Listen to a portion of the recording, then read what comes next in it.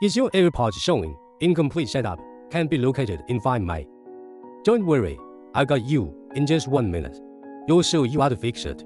First, go to your settings and open asterisk Find My. Make sure location services are turned on. Make sure your settings look just like mine.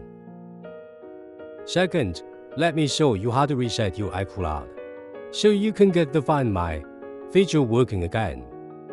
Press and hold the button on the back of the charging case and wait for a bit. Here's the important part. You gotta keep holding that button until the white light goes off.